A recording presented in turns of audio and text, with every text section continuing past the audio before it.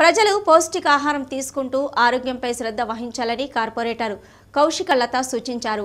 డివిజన్లోని పేద ప్రజల వైద్య అవసరాలకై ఉచిత కంటి వైద్య శిబిరం ఏర్పాటు చేసి ప్రజలకు అవసరమైన మందులను అందజేయడంతో ఆరోగ్య రక్షణపై జాగ్రత్త చర్యలు తెలిపారు. రామగుండ పట్టణం ఇరవై రెండో డివిజన్ పరిధిలోని ఏఎస్ ఫంక్షన్ హాల్లో డివిజన్ పరిధిలోని ప్రజలకు బీజేపీ కార్పొరేటర్ కౌశిక లతా హరి ఆధ్వర్యంలో ఉచిత కంటి చికిత్స వైద్య శిబిరం ఏర్పాటు చేశారు. ఈ సందర్భంగా ప్రముఖ నేత్ర వైద్య నిపుణులు సిహెచ్వి దుర్గాప్రసాద్ ఆధ్వర్యంలో డివిజన్ ప్రజలకు ఉచితంగా కంటి పరీక్షలు నిర్వహించి మందులు పంపిణీ చేశారు.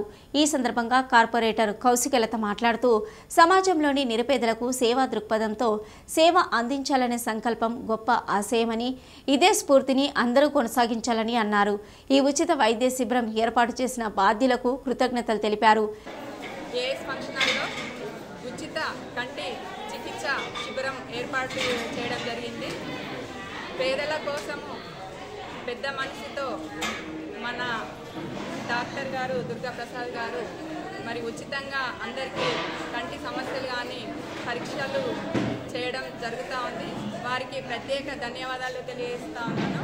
ఈ కార్యక్రమంలో బీజేపీ సీనియర్ నాయకులు Kaushika Hari doctor Mustafa AI Raju classic optical server BJP నాయకులు కౌశిక్ భరత్ కుక్క గంగప్రసాద్ నిమ్మరాజుల రవి ఆలకుంట మహేష్ గంగారాం వెంకటి తదితరులు పాల్గొన్నారు.